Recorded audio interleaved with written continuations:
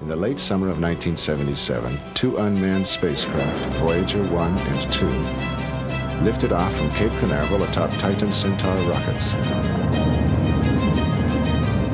Traveling uninterrupted through interstellar space, the Voyagers will endure forever.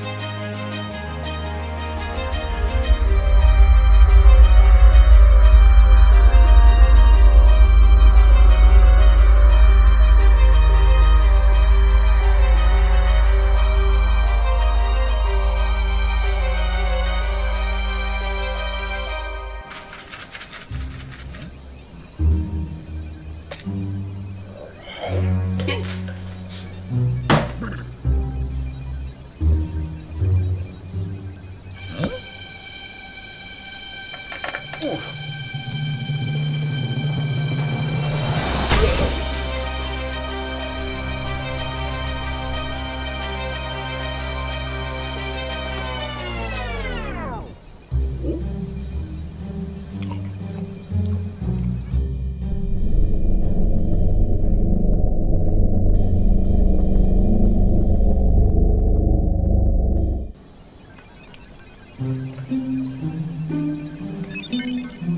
New uploaded information, year 2050. The population of Earth needs help.